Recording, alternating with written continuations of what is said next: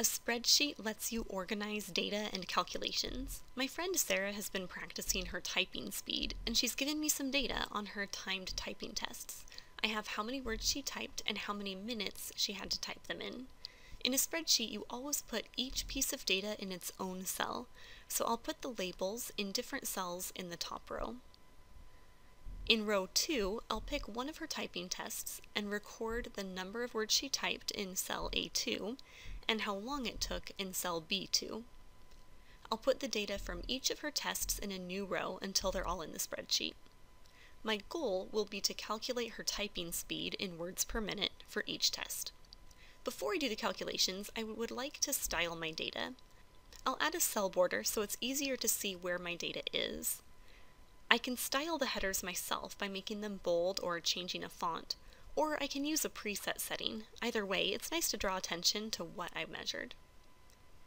You can see that some of my labels are too long for the cells, so I can resize them by hovering between two columns until I get a double-sided arrow, and then I can click and drag to change the column's width.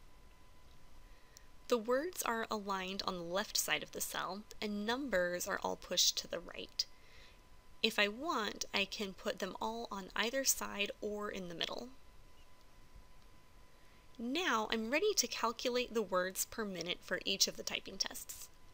I can start any calculation in a spreadsheet by typing the equals sign, and then I just click on the cells that I want to use.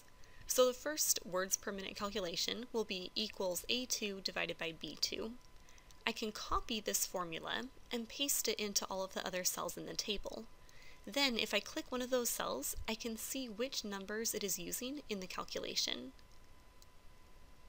Some of my results have decimals and some of them don't. I think it looks cleaner for all of them to have the same number of decimal places. So I can select the values and specify that they are numbers. Then I can decrease to only show one decimal place. Now that I have the words per minute for each of Sarah's tests, I'd also like to find her average words per minute. I could calculate this by adding up each of her words per minute results and dividing by the total number of tests she took. If I do that, I'll want to be sure that I include parentheses because the order of operations always applies. To make things simpler, I can use a function by typing equals average and selecting the cells I want to average out. I can use functions to find Sarah's minimum and maximum typing rates as well. So that's an intro on some of the functionality that you can use with spreadsheets. They give you a lot of great options, and check out our videos for more tips and tricks to go a little deeper.